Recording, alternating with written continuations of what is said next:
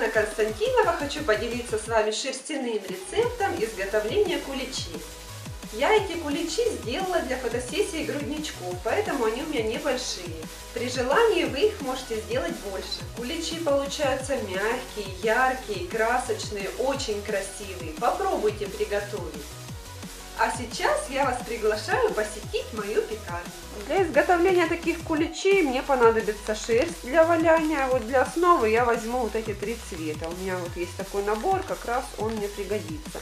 Но вообще достаточно будет белого и такого рыже-коричневого цвета. Также мне понадобится щетка-подушка, подложка для ламината. Я буду использовать ее как подложку для щетки. И иглы. Иглы у меня будут грубые, номер 36. Вот я их взяла сразу три иголки и зафиксировала резиночкой. Или можно работать вот такой вот иглой. Она тоже грубая, она вот на такой деревянной ручке. На тонкие иглы я переходить не буду. Я всю работу сделаю грубыми иглами. Присыпку для своих куличей я буду делать из яркой цветной шерсти. Но вы ее можете заменить при желании на бусины, бисер, пайетки и так далее. Итак, начинаем. Для удобства я сразу обмотаю щетку-подушку подложкой для ламината. Беру белую шерсть, отщипываю, в руках ее перемешиваю. Куличи мои небольшие, поэтому я беру шерсти не так много. Заворачиваю шерсть в овальную форму и придаю ей такую форму цилиндра.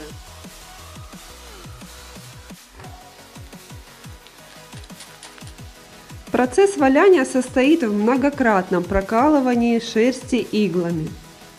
Чуть-чуть зафиксировали форму и смотрим, достаточно нам шерсти или нет. Если она очень мягкая и маленькая, добавляем шерсть при необходимости. Прокалываю шерсть сбоку, снизу.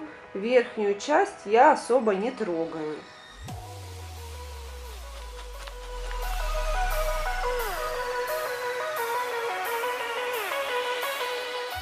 Смотрите, вот эту основу для кулича я делаю из белой шерсти. Это для экономии цветной шерсти.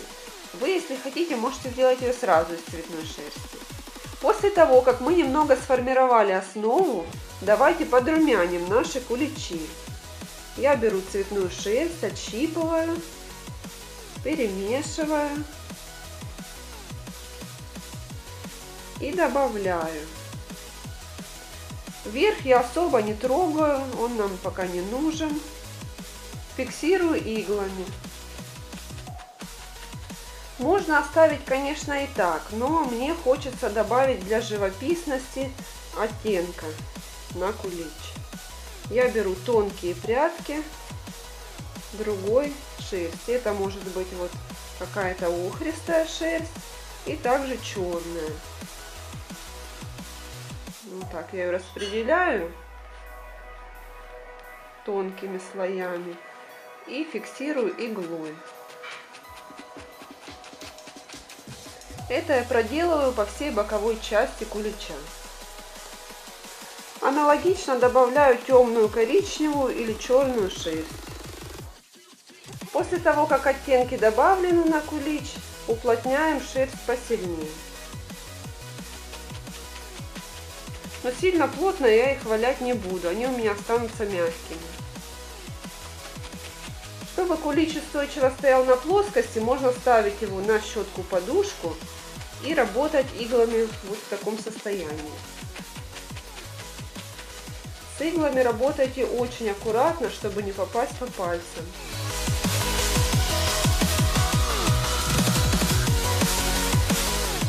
Теперь переходим к верхушке кулича. Беру белую шерсть, отрываю, перемешиваю в руках. Прикладываю на верхушку. Я хочу, чтобы верхушка у меня была потолще, чем основная масса кулича. И хочу сделать красивые потеки из гоголя-моголя. Смотрите, сначала я добавила объем на верхушку. Теперь я делаю потеки. Шерсть в этом наборе у меня была не очень белая. Мне хочется сделать ее побелее. Вот я беру другую белую шерсть, она у меня посветлее. И начинаю формировать из нее красивые потеки.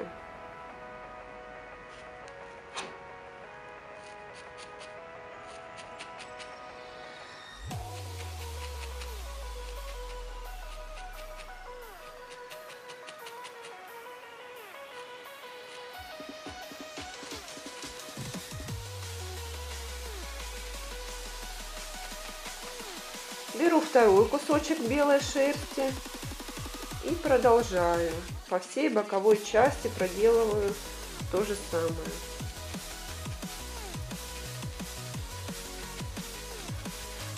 Если у вас кулич получится не совсем ровный, это добавит в него лишь изюминку. Потеки я делаю разного уровня. Какой-то короче, какой-то длиннее, какой-то толще, какой-то тоньше.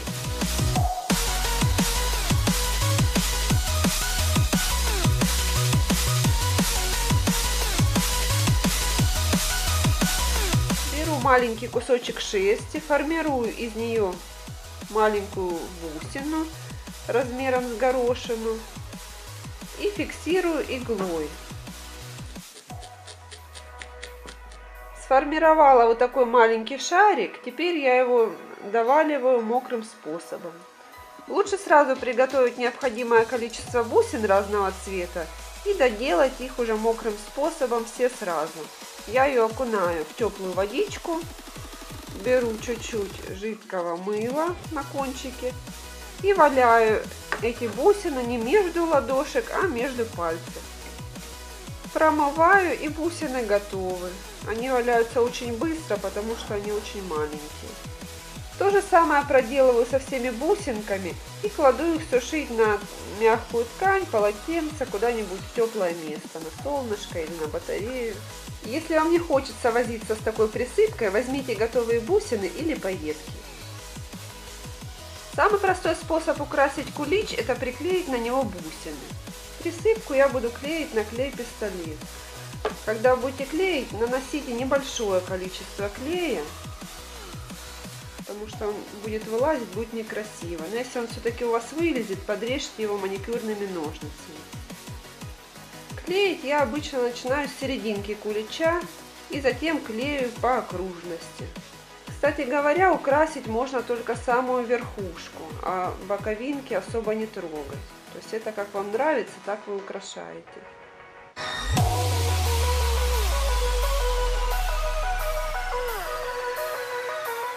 Если вы хотите написать слово ХВ, тогда берете тонкую прядку шерсти и иголочкой набиваете тонкие прядки шерсти. И украшаете еще бусинами. Здесь я комбинировала еще с бисером на этих куличах. Если вы хотите сделать кулич поинтересней, вы валяете два кулича, один побольше, второй маленький, и потом верхний кулич вы приваливаете иголочкой к большому куличу. Вот таким образом. Со всех сторон. И они у вас соединяются. Ну или можно приклеить на клей пистолет тоже, то есть маленький кулич, тоже он будет держаться.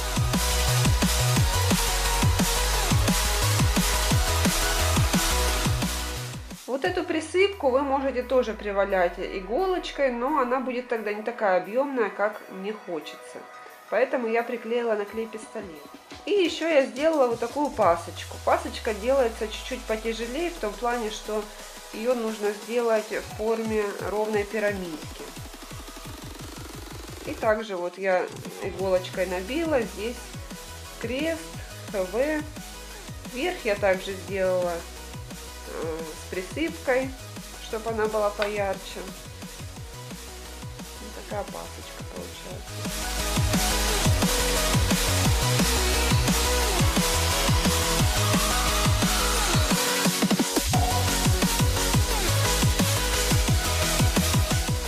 Нравятся мои куличи, поддержи меня лайком и подписывайся на мой канал. И увидимся в следующем видео. Всем пока!